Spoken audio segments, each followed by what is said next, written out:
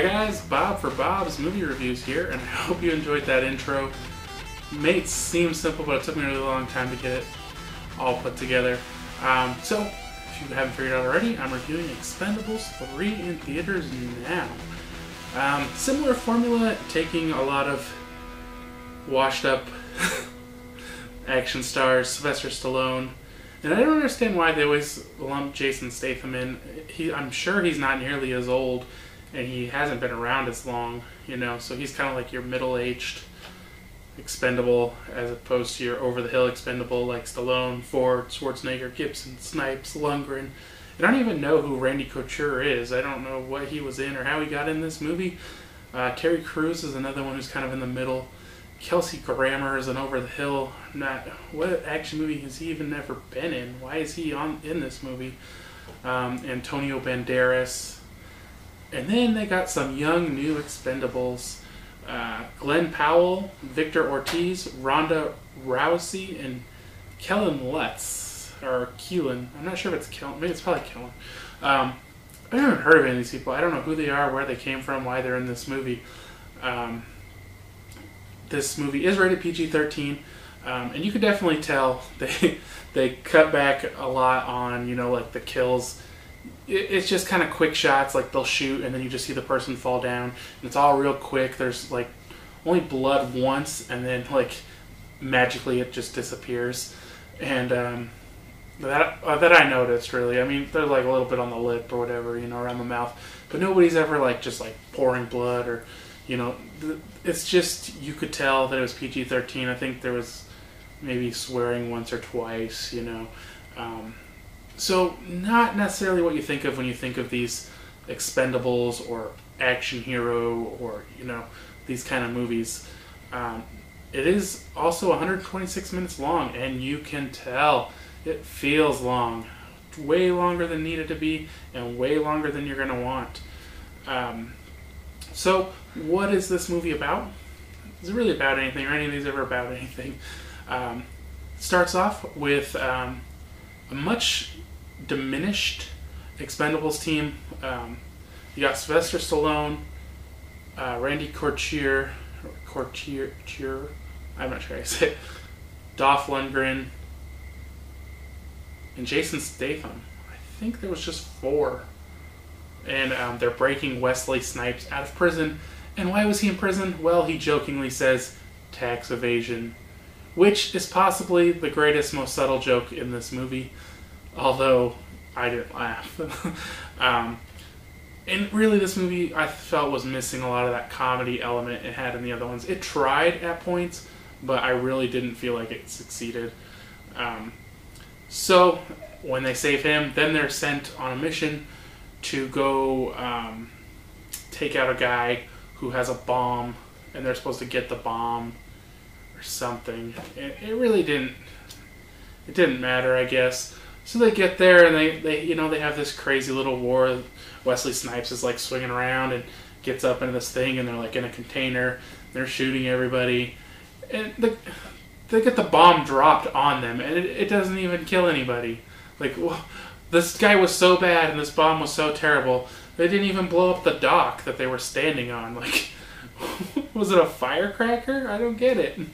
Should have done more damage, but whatever. Realism isn't necessarily a huge deal in these movies.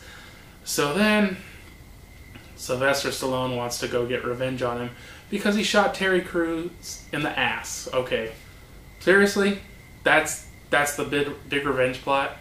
I shot shot Terry Crews in the knee and the ass, and now Sylvester Stallone wants to kill him.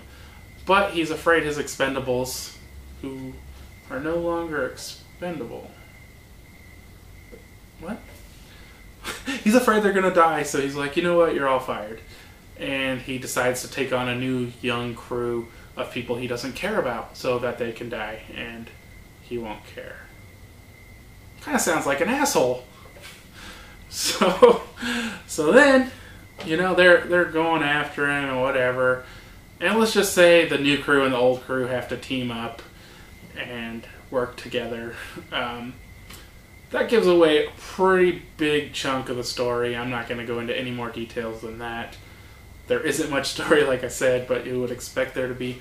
Um, I really did not like this movie as much as the first two.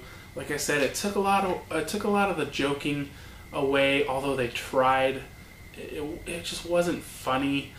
Um, the action there's a lot less of it. There's like a big lull in like the it starts out action. You're like, okay, this is gonna be an action filled movie, and then it's just like, and then like twenty, at least twenty minute, just nonstop fight scene at the end, which was cool and it was great and it was amazing and full of ridiculous stunts and nobody like no none of them can even get shot or anything. I mean, they're fighting a whole army with helicopters and tanks and all this stuff. Um, and, and of course, they're all bulletproof. Um, uh, they did do Arnold did get to the chopper, and you know, but that was really the only only you know one liner of, of theirs they had used. Unlike in two, you know, they tried to really cheesy them in. No su- surprise appearances from Chuck Norris, who was the best appearance in this Expendables two. Um, so, like I said, at the end, yeah, it's just too long to wait for that payoff. Um, I got bored and I was like, ah, what is going on? And, you know, it's just way too long for that. So I'm going to talk a little bit about each character. Sylvester Stallone, main character, he's in it the most. You know, he's, he's obviously it's his movie. Jason Statham, you know, he's his right hand man again. Um, but you know he gets fired too. Harrison Ford actually is kind of like a CIA agent or something, and he's not in it much until the end, and then he becomes a helicopter pilot, and he's he helps them in the final battle. Arnold Schwarzenegger somehow manages to be throughout this movie without doing much, which I honestly feel like Arnold could. Um, if he was in this more, I think it'd be a lot better because you know he's the greatest action star ever you know, it's just they don't seem to want to put him in this much. And he just has a couple quick lines here and there, and uh, he does a little fighting at the end, but mostly he's just like sitting in the plane or flying the plane or whatever, not doing much. Mel Gibson, if you didn't figure out from the previews um, and you don't want to know, maybe don't listen. Stop the video now. But um, he's the bad guy, and he did a pretty good job. He had the one funny joke in the whole movie. I felt like if they would have used him more and and you know done more of him as the bad guy instead of you know just every once in a while having scenes with him, I think it would have been a lot better. I think he plays an excellent bad guy, and regardless of what you think of him and all his meltdowns he's had, um, great movie star. Um, I can't deny that. Wesley Snipes, um, again, kind of at the beginning, and he kind of has this whole deal like he's the greatest knife guy, and so he's got to like argue with Statham over who's the best with knives, and he's got to take knives, and he's obsessed with knives in this movie. Um, and he's wearing this like at the beginning, he's wearing this ridiculously fake beard. It just looks like it's like taped on, and he decides to shave it with this knife that's like this big. It's like a sword, and he's like, it's like okay, come on, that's just stupid. Dolph Lundgren seemed like he had a little bit less of a role in this one. Uh, Randy Couture, the same. Terry Crews, you know, like I said, he gets shot and he's out of most of the movie. Kelsey Grammer, um, he's not in it a, a, lot. He's like taking um, Stallone around to, to find these new Expendables, and um, I can't remember if he showed up for the last fight or not. Seemed like he went, but I don't remember him doing anything. Then everybody else is all the young people. So um, like I said, I don't think it's as good as the first two. If you don't like the first two, probably not going to like this one. I did just start reading someone's review though, where they're like, I didn't like the first two, but I like this one. But you know, there's always going to be those people. Um, as for whether or not I suggest you guys go see this, I say wait. It's really not worth the money. Um, the best part is the end, and it's two hours to get there. You know, there's better movies out there. But I hope you guys enjoyed this review. If you did, be sure to give it a thumbs up, and I'll see you guys next time.